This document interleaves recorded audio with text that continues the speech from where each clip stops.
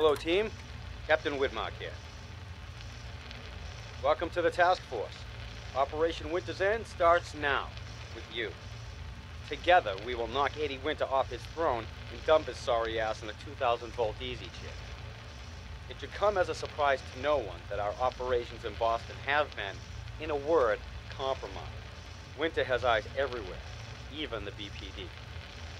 So, our brothers across the river in Cambridge have been kind enough to let us use the Cambridge Police Department as our base of operations.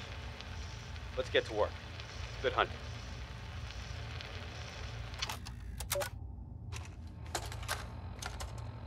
Detective Valentine, Captain Widmark here. I'd just like to reiterate how excited we here at the Boston Police Department are that you'll be joining our investigation. Commissioner Turner has already regaled me with the tales of your adventures in Chicago. As you know, Edward L. Eddie Winter has been a pox on this beautiful city for nearly two decades. Extortion, murder, racketeering, kidnapping, name a crime he's committed. The epitome of a cold-blooded, brilliant, slippery crime boss. Fortunately for us, over the years, Winter has also developed that most self-destructive of character traits, uh, supreme arrogance.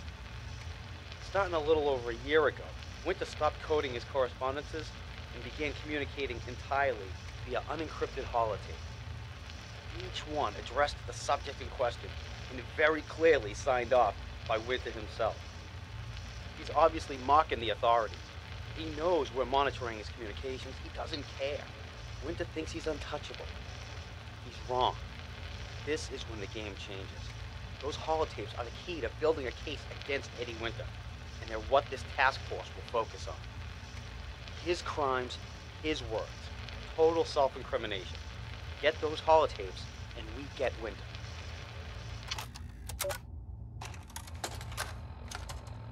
Message to Alexander Strelnikov. My esteemed Mr. Strelnikov, I know someone of your profession values discretion above all else. But I have to honestly say, screw that. I mean, come on. One bullet, halfway across town, and you blew Ron Trevio's head clean off. You, sir, are an artist. Are all the assassins from Russia as good as you? I seriously doubt it. But listen, your secret's safe with me. Eddie Winter, signing off.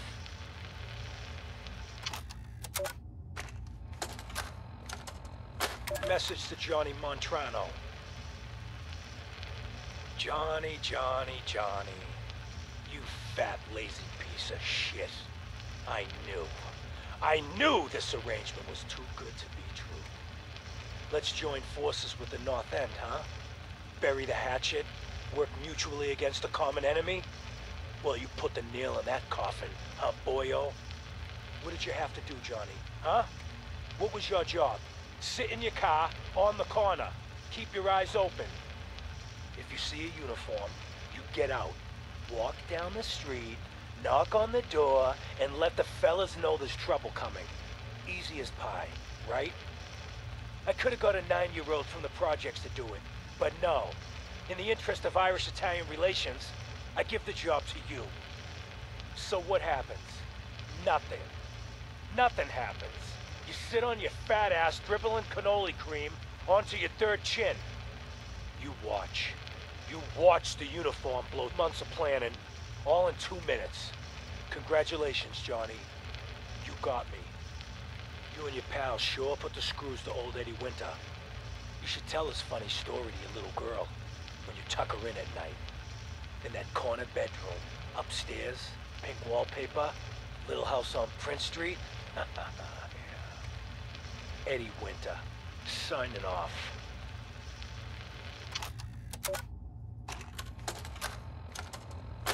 Message to Robert Cooper. You did good, Bobby. The wife and girl won't be saying anything. no worries. Hell, once those fat life insurance checks start rolling in, Mrs. Montrano will wish her fat slob of a husband had eaten that bullet five years ago. As for what happens next, up to you. Beach, sub shop, car yard, doesn't matter where he ends up, I don't give a shit. I just want him in the ground. So, long as Johnny Sr. never finds out what happened to his little meatball, we're set. Eddie Winter, signing off.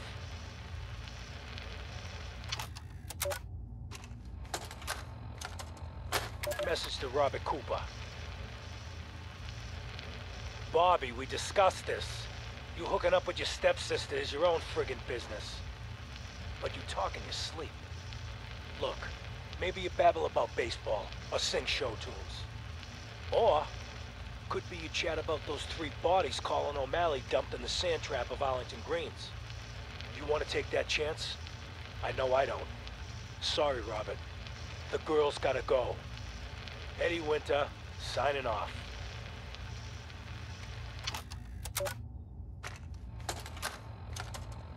Message to Claire Pazinski. Dinner tonight. Me, you, and Arthur Black. Reservations are for 7 at the Cornerstone Grill. Don't worry. I'll make sure Arthur's on his best behavior. No stabbing the waiter for a fucked up drink order, like what happened in Charlestown. Even though the prick deserved it. Love you. Eddie Winter, signing off.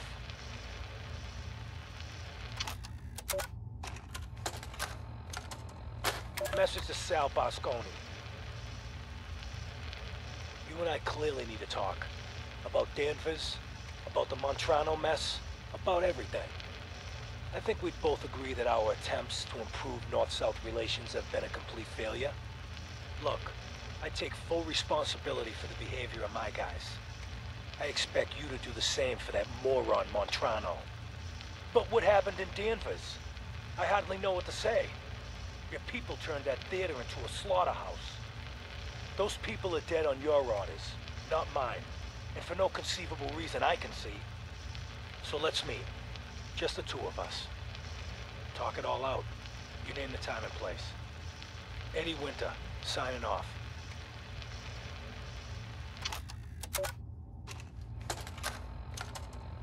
Message to Charlotte Wen. My dear Miss Wen, I hope you're well. After our little joint venture this past May, you should be.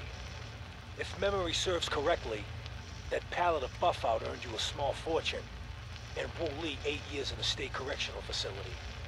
So I got to thinking, why not do it again? We both love the same things. Money and destroying people who get in our way. Together we'll outmaneuver them all. Boston will be ours for the taking. Let them play checkers.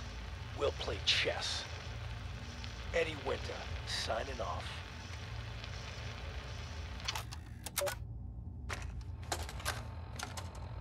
Message to Buster Conley. Nice piece you did on the monorail construction project. Heaven's Highway, Devil's Doing. Cute. But I think you give organized crime too much credit. The various Boston families coming together to fund a public works project? Please. Clearly you never sat down to dinner with these guys. They can barely agree on an appetizer. And ain't nobody jumping to pick up the check. The bosses had their hands in the honeypot, sure. But nowhere near the level you were suggesting. You did get one thing right, though. Safety Inspector Alice Lansky was killed. They'll never find her. Because there's nothing left. After he bashed her brains in with one of those giant wrenches, Vinny the Cracker's Venucci dissolved her body in a barrel of hydrochloric acid. So write your follow-up. Then feel free to tell the cops the murder weapon is hanging on the wall in Venucci's garage. On 4 Charter Street. Eddie Winter, signing off.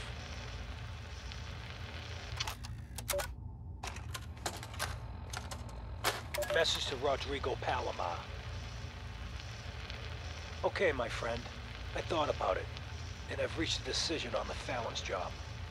Your cut is exactly what you deserve. Zero dollars. Zilch. You heard me right. You get nothing. Yes, you cracked the safe. And yes, we got the diamonds. But you also tripped the alarm. Mackey got pinched, and that's entirely your fault. Now, when he gets out, Mackey's gonna want your head on a platter. I'm gonna give him your share instead. I see you're getting off easy. Eddie Winter, signing off.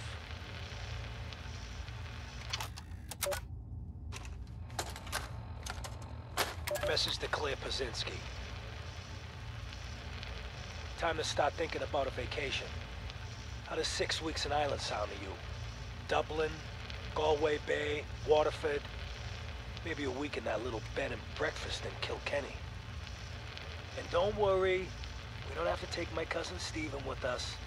Let him get out of the country on his own. I told him to threaten that cop, not blast him in the face with a shotgun. He can rot in that abandoned fishery down in Union Wharf for all I care. Love you. Eddie Winter, signing off.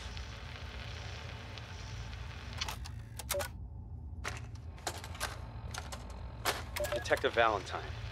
Nick, listen, I'm sorry. You've got every right to be upset. You need to believe me when I tell you I had no idea. Operation Winter's End was my baby. I believed in it. I still believe in it. They kept us all in the dark, me included. I got briefed this afternoon. They laid it all out. The whole thing. Winter's deal with the DA, his agreement to bring down the other families, his idea to record the holotapes and incriminate all known associates, and them needing a legitimate op and a real task force to make it all look like Winter was the focus. It was the plan all along, Nick. There's nothing we can do. Winter was a stoolie for the feds. He reported directly to the BADTFL, all on the books. For his cooperation, Winter will be granted total immunity. It's over. Effective immediately, Operation Winter's End is to cease all investigations and operations. The task force is hereby disbanded. We played our part, pal. Not the part we thought, but hey, it happens. Now we're just another box in the file room. Nick, listen to me. Everything that's happened, Winter, Jenny, it's more than any one man should have to handle. You need help. Boston PD has been working with the eggheads at CIT. Some new program they have to deal with trauma. Scanning brainwaves or some such. I'll get you the info. You're going. That's an order.